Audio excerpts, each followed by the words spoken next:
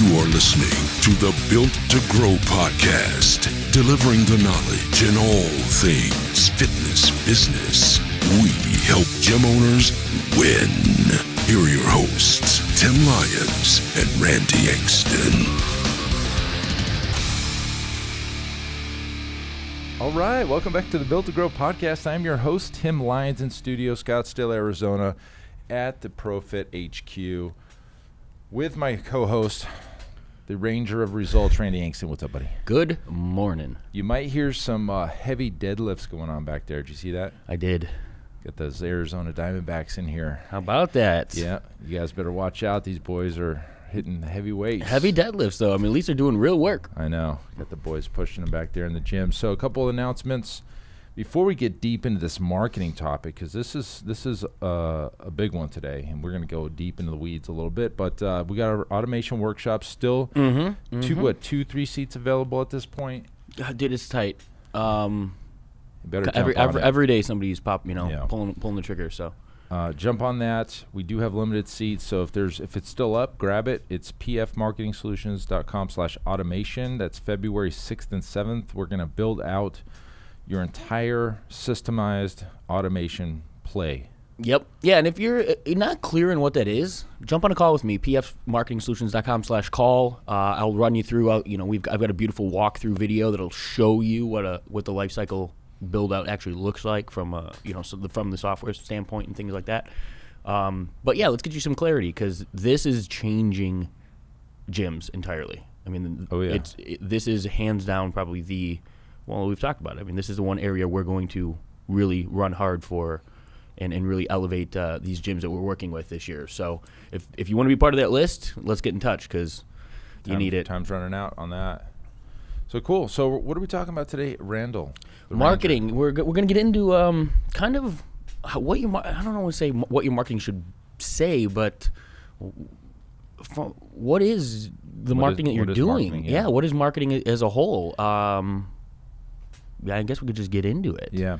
You know, the thing about Profit, you know, in our name, and we're trying to kind of get away from it a little bit, is Profit Marketing Solutions. That's that's how we came on board, right? We Mm-hmm. came on board getting clients for gym owners, right? And it was always, our, our you know, our tagline was like we solve client generation problems for gyms. Correct. Not, not lead generation, but client generation. There's a big difference. There's Yeah. a big difference between a lead and somebody who's actually going to become a client. And when we say when the general term marketing's thrown out to gym owners, the first thing that comes to mind is lead generation. Marketing equals lead generation. That's what gym owners feel, think, and that's what they ultimately want is mm-hmm. leads. Now, the first thing I would say is how those leads come in and what they come in from is the entire success or failure of the campaign. Yeah, the majority of it. Yeah, I can get you leads for, you know, pennies Mm-hmm. if we really, really thought about this. But those those leads aren't going to ever become clients. Yeah. So what is the point? Yeah, and like we were talking this morning before we got on, right? What is the solution to the problem that you're you're solving for business for as a business? Like, what are you bringing to the marketplace? What are you known for? And your marketing should be a direct representation of that. And I think that we've gotten so, and we've talked about this before. I mean, the last six months, I'd say, you know, we're heavily pushing the the value of the the message that you're bringing to your marketplace. What are you saying to your audience? And like you said, I mean, we could, we could generate leads with an ebook with a, a something of value. We could we can get you a lead. Does that mean that person wants a personal training membership? Maybe, maybe, maybe, not. maybe not. Yeah, exactly. But the value of that lead to your business and what it, what you're capable of selling that individual Yep. depends on how they came into your ecosystem, right. and that matters. And I do think you need to generate leads in order Mm-hmm. to, to, to survive in the game. Uh, but we're going to get into you know how those leads come into your into your world and how you're nurturing those those leads. So let's go back to the whole term direct response marketing Mm-hmm. for a second. We we've we've touched on this several episodes, and this is what you see in the market from your competitors, from other gyms. You see, here's my thing Yep. maybe it's a challenge or a program or a transformation or a thing or thing buy it opt in Buy now. so you can buy my thing that's really what you're telling your audience Um, other things that could be lead generation tactics or strategies, I've seen all of them. Here we go. I'm just going to rattle these off. Obviously, a, a lead magnet, and I wouldn't say a lead magnet's bad. I think they're actually really good, Mhm. we've done very well, very well with lead magnets. But you can't just take a lead magnet And sell from it. and just turn it into a member tomorrow. Correct. Yeah, lead magnet might be a lead generation, um, a free offer, right? Seven day free pass, three day pass, free appointment or a consultation. That's Mhm. another one. Um, I've seen sweepstakes. You know, hey, enter to win a free membership. Okay, you can get a ton of leads with that.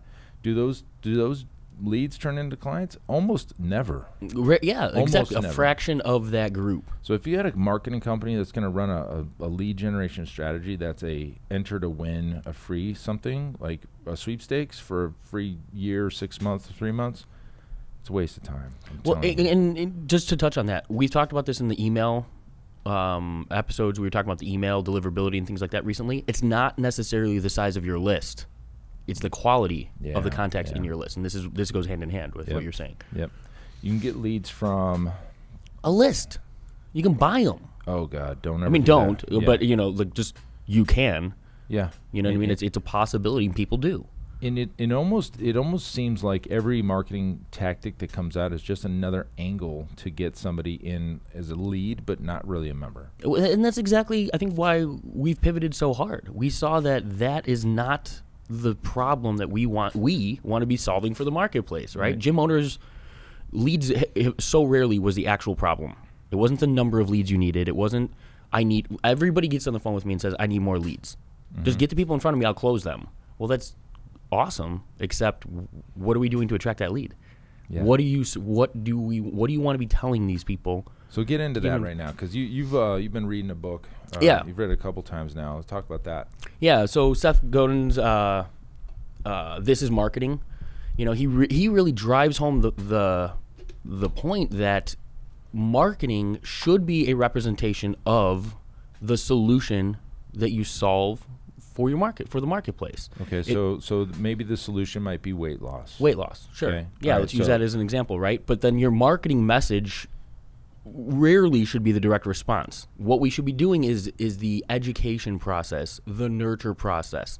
People come into your ecosystem, you know, a lead, maybe before you have their lead. Uh, let's say they, they came across your Facebook page or your website. What is the message that you're sending them? Are you a challenge based you know, gym? Is that what you offer? Yep. Are you offering weight loss? Are you trying to sell something? Because marketing and sales are vastly different. Marketing is a change of. Seth says it in within the book, but um, marketing, uh, separate from sales. Sales is the actual process, the exchange of value, right? Money exchange for a service or a good. Sale or marketing is the conversation that happens before that. Let's like we've talked about in the past the awareness triangle, the Yep. um, the most educated consumer who knows the solution that they're looking for for their problem, that's the hardest person to market to. It's the most competitive person to, to market to, and that's the only person being marketed to with direct response. I wouldn't say it's the hardest. I think it's almost the easiest to market to. It's the smallest of the population. But that, that's what I mean. It's the hardest to acquire because of the level of competition, right? Everybody's going to that person because that person's the most aware of what Mm-hmm. they're looking to purchase. In in retrospect, right, we have the bottom of that awareness triangle that has the uneducated or the, the Unaware. consumer unaware Yeah. who doesn't even know that the problem exists necessarily. So when it comes to lead generation, right, that's the, e- the the most affordable person to get into a list, but they're the least likely to sign up for a membership today. So that's where the marketing comes in, right? The change when, when in order to sell something to somebody, you need to change a belief system, and you take them from th- something that they currently believe, and through education, through knowledge, through nurture, you change what they know to be true. And when you can do that, you create that connection, and you have a now you have an inclined buyer. You have somebody who's who's tuned in to th- the value and the message that you're saying. Well, to that point, somebody that believes that fitness is not the solution for them, if you can change their mindset, like, yeah, personal training is the solution mm-hmm. you've got a buyer. Well, let's let's let's use a hard example that we we did in the past, right? When we when we learned through all of this, um, what we created an ebook for the most uh, uh, Oh, the, the the most unaware consumer, right? We did an ebook called "Sitting is the New Smoking." Had nothing to do with selling a, a gym membership, right. but what we did is that piece of value allowed us to get somebody's information as an exchange of value, right? They opted in, they got the ebook. Now, through a nurture process, we're educating that person that sitting in a sedentary, you know, lifestyle is creating a unhealthy situation, which is leading to excess weight, which is leading to all, the other problems that they're experiencing. symptoms, yeah. And then now, you know, we're educating that person about the problem that they're experiencing, providing multiple solutions, honing in on personal training being the right solution for them, and then positioning an offer once that person ascends themselves up into you know mm-hmm. the position ready to buy. Almost, I don't see anybody doing that in the marketplace. No, it's too hard. It- It's very difficult, but at the end of the day, those are the people that are going to walk into your gym with their credit card hand out and say, "I want exactly what you have to offer." exactly. And that's the thing that you know that is the best client because they're not coming in on the hook or the free or the thing. They they came in because they want the result of a solution. They want they want their problem solved. and and, and they've they've chosen you or your facility as the absolute solution to their that problem that they're experiencing. Yeah, think about the reader of that ebook, right? And you could we can even have gone deeper with some video series and some stuff like that. But think about the reader. They're reading this and like, yeah, wow, that is me. and that's exactly what we're trying to create. Like good marketing should do those aha moments to Uh-huh. to to the end user. That to me is marketing. And and I think for the last few years, like I've almost had resistance around the direct response side of things because I know that nine, uh, you know, nine out of ten of those people that we're hitting aren't really there for the long term solution. You know, we hooked them with the candy bar effect, right at the checkout, right? It's it's urgency, scarcity, low low dollar amount. It's an impromptu purchase as opposed to building that like trust and respect factor, allowing the consumer to decide that we are the absolute right decision for them. And really, the the point here is that you're trying to make you know the, the biggest point is that this is going to sustain the business over the long Exactly. term versus getting the people off the street that are ready to buy today. I mean, those some of those people will stay because don't don't get me wrong, you can hook somebody in with a challenge or a transformation that stays years. You can. We've done it. Everybody's doing that. Mm-hmm. But do that plus Exactly. Plus- these are layers. yeah, exactly. These are the folks that are ready to buy six months from now. And when everything's dead, these people are walking in. And these are the people that are going to be the ones that keep your lights on for, like we said, the long term. These Mm. are the people because you've you've created that relationship. It's not just a sale. It's not just so let's take it a step farther. You you put you produce this piece of content. Let's mm-hmm. call it content. In this in this could be any type of content. It could be a video, an ebook, or a report, or any of these types of things. You get that lead. Then what? Like you're not going to physically text these people every single day or email them. You got to create automation. system automations. Yeah.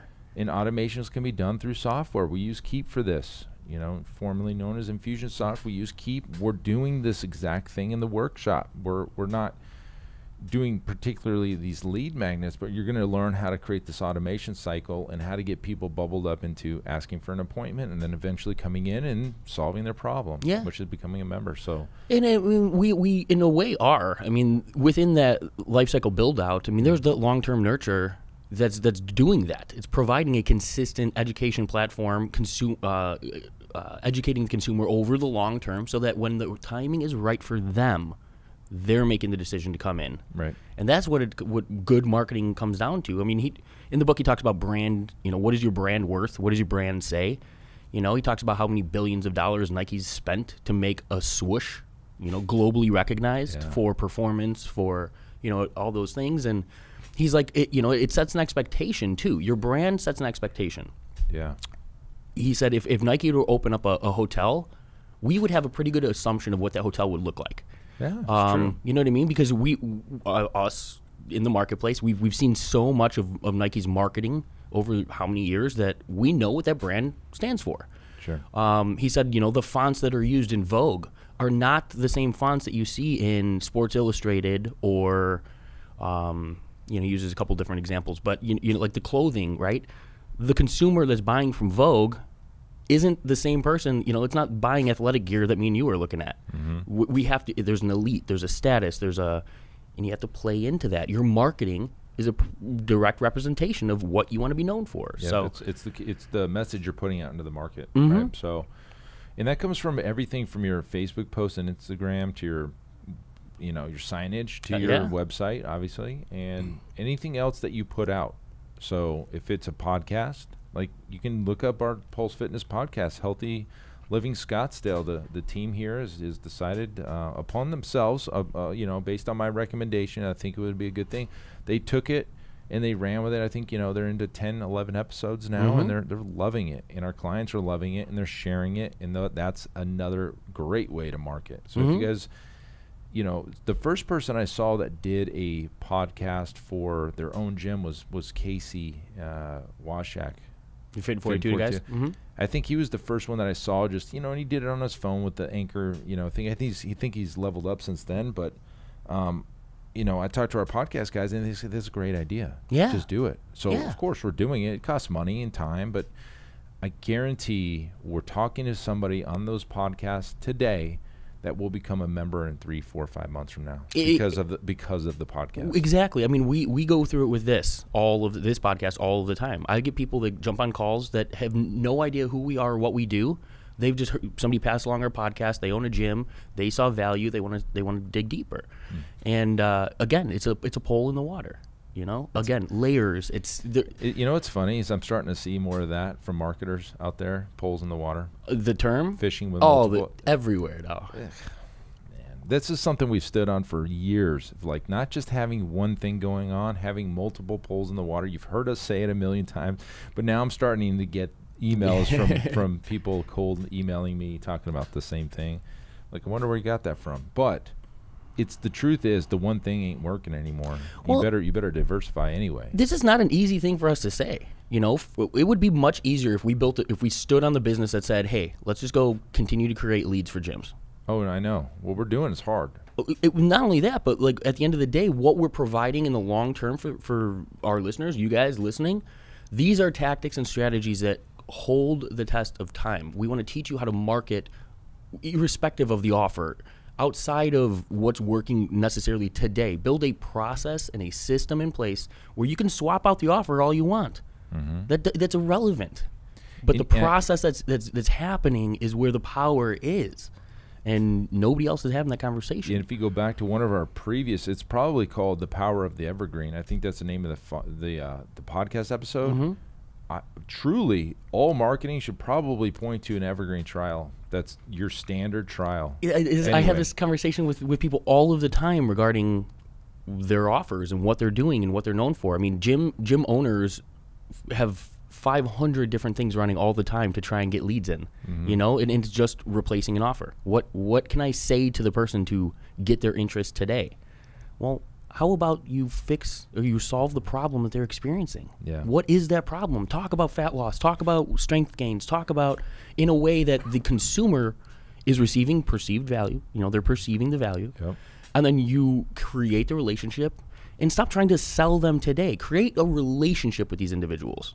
Allow that time to take place, you know, to, to happen so that you can create that change in their belief.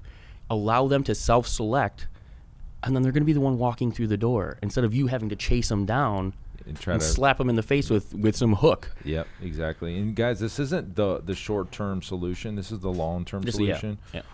If you need leads, you're going to still have to do some direct response style stuff, but I would I would highly recommend it's a systematized trial evergreen style offer that is is your team knows how to convert. You know what the per, like the product that you're giving them in the trial is the same product they're going to experience once Exactly. they become a member. It's just maybe condensed down into 2 weeks. To try before you buy. It's really it is, so, and it can be paid. It should be paid. In fact, the ones that are paid, uh, those always convert better Yeah. than free. So hopefully this strikes a chord. You guys are listening to the podcast for a reason. That's to to to win. Obviously, that's what we're trying to help you do. Um, take this and start building out a you know like a content strategy that speaks to the problems that your current clients are facing that you can provide the solution for. Yeah, and, and and you touched on it there. It's not the short term. Like you need to have a little bit of both. And we teach, you know, understanding the temperature of the marketplace, understanding your business within the four walls. Where do I need clients today? Do I need, you know, to gain long term sustainable clients? I think that your your evergreen offer and the problem that you're solving for the marketplace needs to be the majority of the language and communication with that marketplace. Mm-hmm. The offers that you you switch, you know, timely January transformation challenges, summer shreds, whatever you want to do. All of those things have their their place, but that should not be the core foundation of the message. Get back to building the relationships with these people. Beautiful. Perfect. All right, guys, uh, that's it for this episode. If you want to get in on that workshop, do it today. pfmarketingsolutions.com slash automation. And if you want to jump on a call with us, pfmarketingsolutions.com slash call. Until next guy, time, until next time, guys, keep changing lives. We'll see you on the next episode. Bye.